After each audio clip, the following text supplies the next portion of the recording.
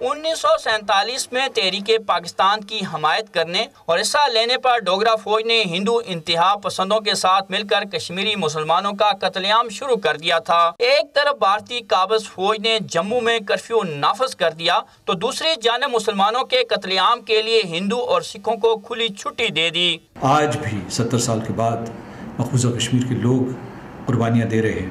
شہدائے جموں سے لے کر برہان وانی کی شہادت کے بعد اور برہان وانی کے بعد جو شہادتیں ہوئی ہیں انہوں نے ثابت کر دیا ہے کہ اہل جموں کشمیر کے حوصلے بلند ہیں وہ ثابت قدم ہیں وہ اپنے حق کے خود ارادیت کے لیے جد و جہد جاری رکھیں گے۔ چار نومبر انیس سو سینتالیس کو پاکستان جانے کے اعلان پر مسلمانوں میں خوشی کی لہر دوڑ گئی اور ہزاروں کشمیری مسلمان اپنا گھر بار چھوڑ کر پولیس لائن جموں پہنچ گئے۔ یہ قانون تھا ریاست کا۔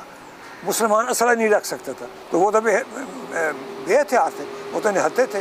جب ان کو یہ کہا گیا کہ آپ پولیس لائن میں جمع ہو جائے، ہم آپ کو سیالکوٹ پہنچائیں گے، تو انہوں نے شکر کا سمجھا۔ تو وہ پولیس لائن میں ہزاروں کی تعداد میں جمع ہو گئے۔ انہوں نے گاڑیاں لائیں، گاڑی میں ان کو بٹھایا۔ بٹھا کر وہ سمجھے کہ ہم پاکستان جا رہے ہیں۔ انہوں نے ان کو پٹھان کوٹ کی روڈ پر لے جا کر وہاں گاجر مولی کی طرح کاٹ دیا۔ پاکستان سے محبت کے جرم میں چھ نومبر انیس سو سینتالیس تک جموں کے سوا لاکھ کشمیری مسلمانوں نے اپنی جانیں قربان کی لائن آف کنٹرول کے دونوں اطراف بسنے والے کشمیری آج یوم شہدائے جموں اس عزم کے ساتھ منا رہے ہیں کہ وہ اصول حق خود ارادیت تک اپنی جد و جہد جاری رکھیں گے۔ کیمرامین شازب عبدال کے ساتھ اورنگزیب جراد ٹوئنٹی فور نیوز آباد